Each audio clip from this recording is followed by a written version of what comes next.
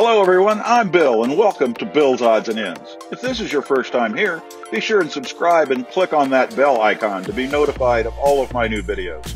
Also, give this video a thumbs up as it really helps the channel out. And now, on with the video.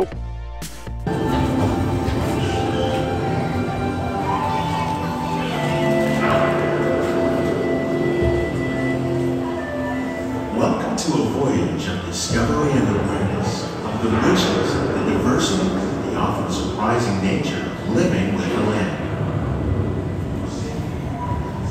Our journey begins as dramatic and sudden changes are sweeping over the land. The approaching storm may seem violent and destructive to us, but to nature, it's a new beginning in the cycle of life.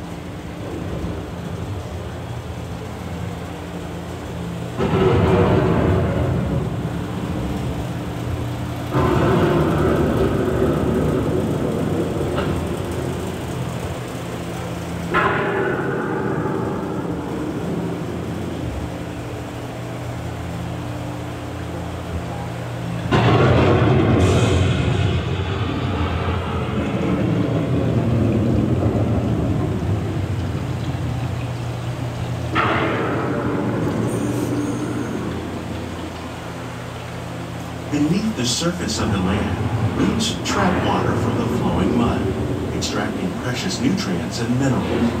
These elements, when combined with sunlight, create the diverse living systems of our planet.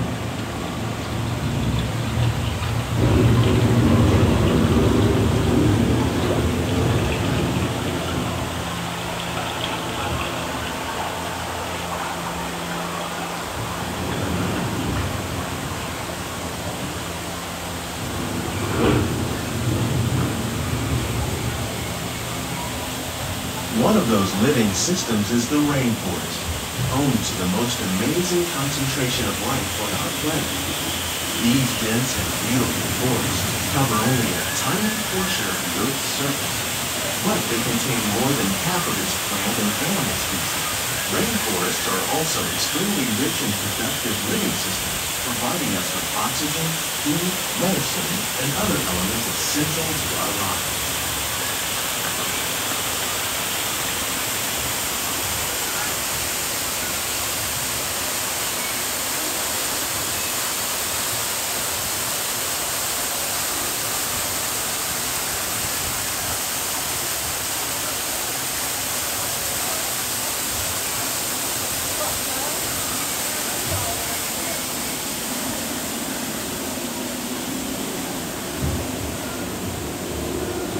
In the desert, nature has created a very different, no less beautiful living system.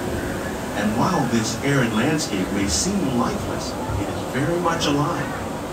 The plants and animals that have learned to survive in these harsh conditions make use of what little water they can find and avoid the scorching rays of the relentless sun.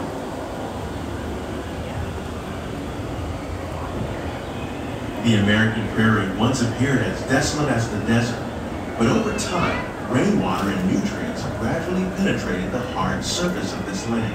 Even the hooves of the mighty buffalo helped create the rich soil that will one day become home to the American farm.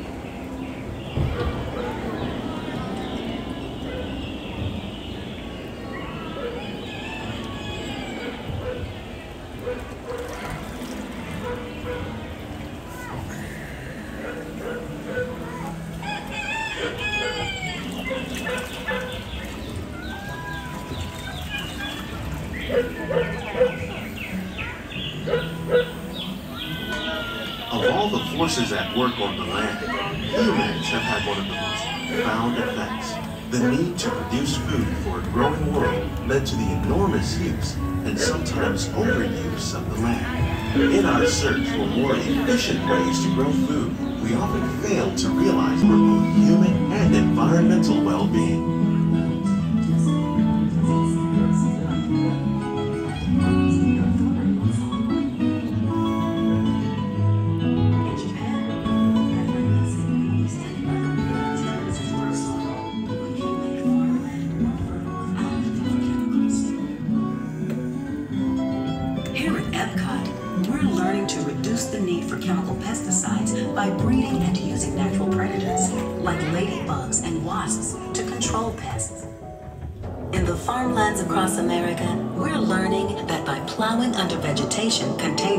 Fertilizers, we can enrich the soil without the use of chemicals. In arid regions, we're learning to produce food on desert seacoasts by developing and planting crops that thrive on salt water.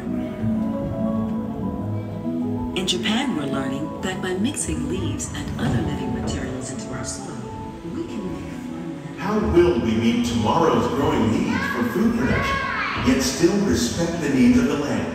Some of the answers are being discovered just ahead. To help us maintain these carefully controlled ecosystems, and for your safety, please remain seated in your boat at all times.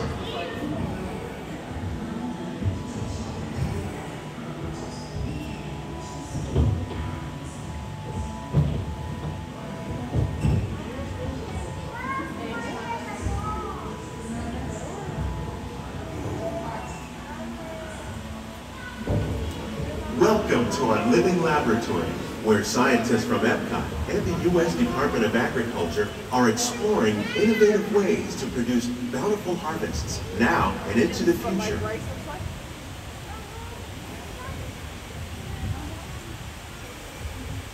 The tropics are home to the greatest diversity of plants on the planet. Many of these, like papaya, bananas, cacao, coffee, and rice, are well known around the world. These are just a few of the edible plants that have been an important source of nutrition for people living in the tropics. Many are rich in vitamins and minerals, while others are well adapted to growing in less than ideal conditions. Some, like the water lily, thrive in wet, swampy areas and waterways. All parts of this plant, even the flower petals, are edible. The starchy root of the plant has long been used to make flour for baking.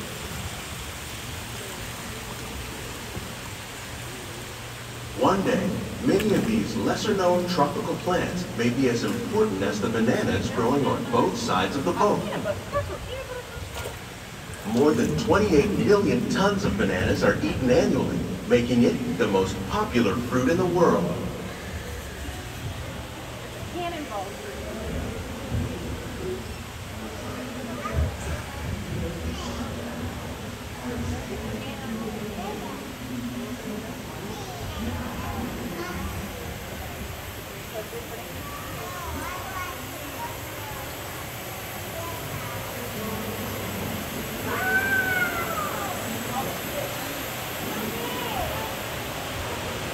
When we mention farming, you probably don't think of fish. But fish farming, or aquaculture, accounts for nearly half of all the seafood consumed globally. Tilapia, bass, and catfish, like the ones you see here, are three of the more popular crops raised by fish farmers. The sustainable system we're using here recycles the water in the tanks. As a result, we're able to save millions of gallons each year. Small fish farm produces nearly 5,000 pounds of fish each year to serve in restaurants around Walt Disney World. Innovations like this one can play an important role in our efforts to produce bountiful harvests and still protect natural resources.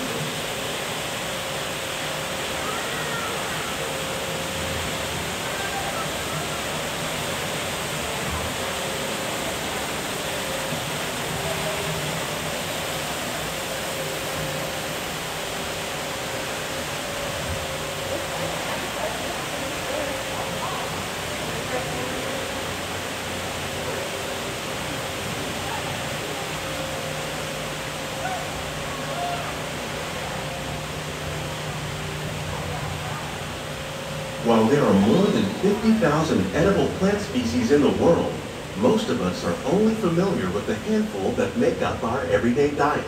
The common grains growing here, wheat, maize, sorghum, and millet, plus rice, account for nearly two-thirds of our global food consumption. Learning how to increase yields of these staples is an important goal of research around the world.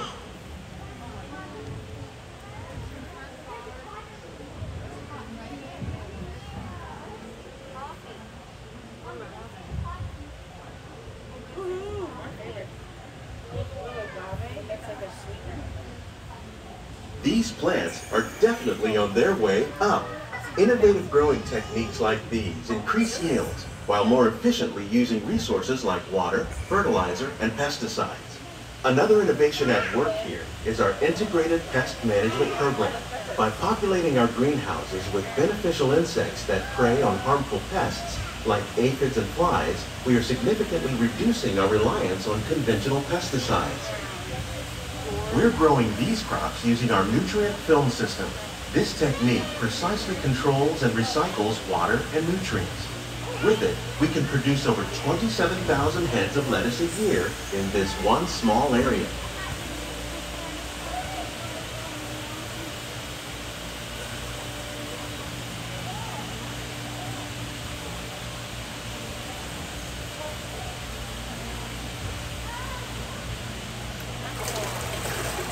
Some of our best ideas have been inspired by nature, like these fruit and vegetable trees. By growing these ground plants vertically, we can increase yields and better control diseases. These crops taste as good as they look. In fact, we serve more than 15 tons of produce from our greenhouses in restaurants here at the land every year.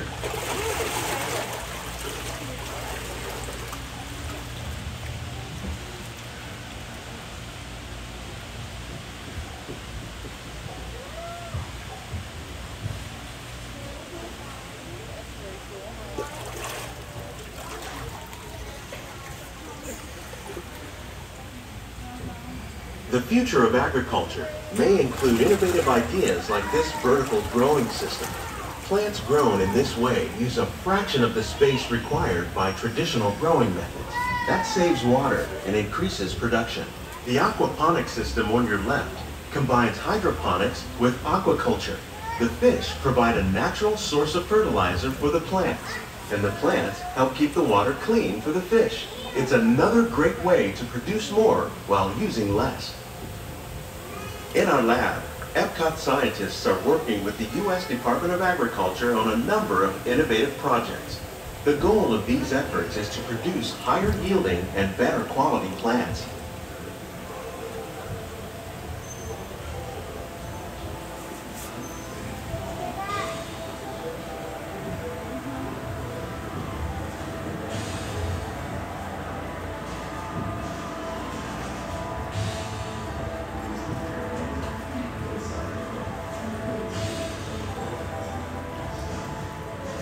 Greenhouses represent just a fraction of the work being done worldwide to produce bountiful harvests for our growing population.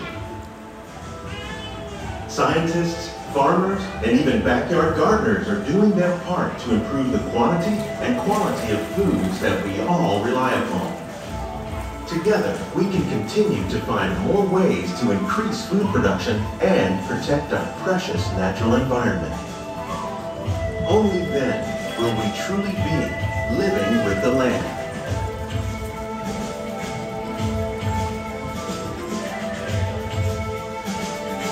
On behalf of Walt Disney World, we hope you've enjoyed this unique journey through our living laboratory. If you'd like a closer look, then check out the behind the scenes walking tour. It's a chance for the whole family to get up close and personal with the plants and growing techniques in our laboratory. Please keep your hands and feet inside the boat and remain seated until the boat comes to a complete stop. And that was Living with the Land. We've done this ride a lot of times, and it's always fascinating riding through the greenhouse. But it really was kind of special seeing all of it lit up and decorated for Christmas. It's something you don't see very often. Really enjoyed it, and we'll catch you next time.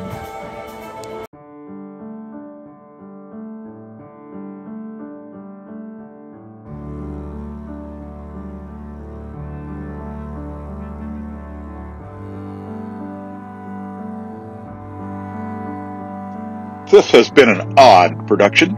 Thanks for watching.